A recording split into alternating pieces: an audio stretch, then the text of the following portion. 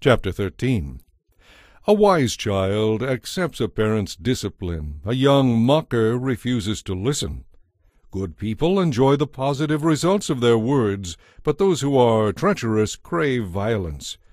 Those who control their tongue will have a long life. A quick retort can ruin everything. Lazy people want much but get little, but those who work hard will prosper and be satisfied. Those who are godly hate lies. The wicked come to shame and disgrace. Godliness helps people all through life, while the evil are destroyed by their wickedness. Some who are poor pretend to be rich. Others who are rich pretend to be poor.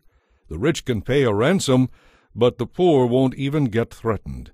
The life of the godly is full of light and joy, but the sinner's light is snuffed out. Pride leads to arguments. Those who take advice are wise.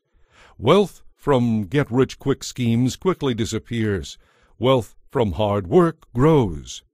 Hope deferred makes the heart sick, but when dreams come true there is life and joy. People who despise advice will find themselves in trouble. Those who respect it will succeed. The advice of the wise is like a life-giving fountain. Those who accept it avoid the snares of death. A person with good sense is respected. A treacherous person walks a rocky road. Wise people think before they act. Fools don't and even brag about it. An unreliable messenger stumbles into trouble, but a reliable messenger brings healing.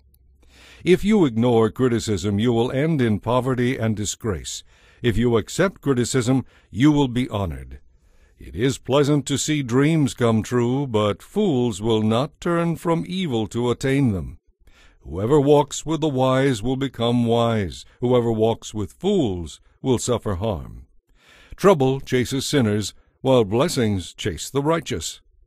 Good people leave an inheritance to their grandchildren, but the sinner's wealth passes to the godly. A poor person's farm may produce much food, but injustice sweeps it all away. If you refuse to discipline your children, it proves you don't love them. If you love your children, you will be prompt to discipline them. The godly eat to their heart's content, but the belly of the wicked goes hungry.